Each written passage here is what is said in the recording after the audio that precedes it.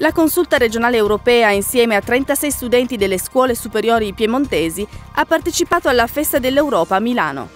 Il filo conduttore di questa edizione è stato il pane, la sua storia, le sue forme dall'origine ai giorni nostri, secondo le tradizioni di 21 paesi europei, dalla baguette francese ai pretzel tedeschi. Al termine della mattinata è seguito un quiz a squadre sulla storia dell'Unione Europea, in palio viaggi di istruzione al Parlamento Europeo. Tra i vincitori anche quattro giovani piemontesi. Il pane come visto da giovani che non hanno come si suol dire, patito la fame per cui il pane era importante? Ma secondo me il pane rispetto alle generazioni passate non è così importante, ormai noi lo consideriamo come un alimento alla base comunque della nostra nutrizione, quindi non conferiamo la stessa importanza che invece davano i nostri antenati, molto spesso tendiamo anche a sprecarlo, non considerando invece la sua importanza che ha avuto nella storia e che continua anche ad avere adesso.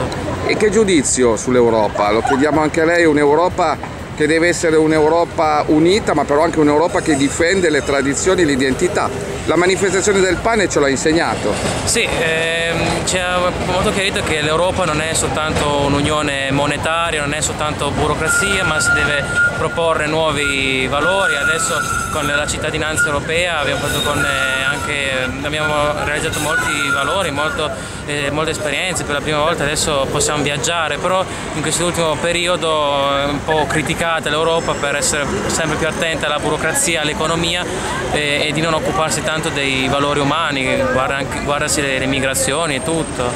Cosa vi ha lasciato la manifestazione di questa mattina, ovvero che concetto di Europa avete, una lettura un po' originale tramite il pane. Allora, è stato comunque un'esperienza interessante e sono comunque esperienze che non si possono fare tutti i giorni, quindi è bello avere l'opportunità di fare qualcosa di nuovo e questo percorso secondo me è stato interessante, soprattutto è stato bello perché non, non pensavo che una cosa comune come il pane potesse appunto essere un elemento per riflettere sull'Europa.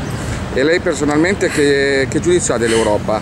eh, in un momento in cui l'Europa è posta sotto accusa su diversi fronti?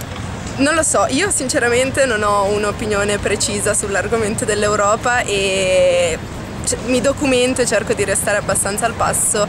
Non so se possa essere, penso che comunque sia un grande passo avanti e comunque un modo per collaborare, per fare in modo che gli stati abbiano appunto dei punti in comune e possano creare un'Europa migliore.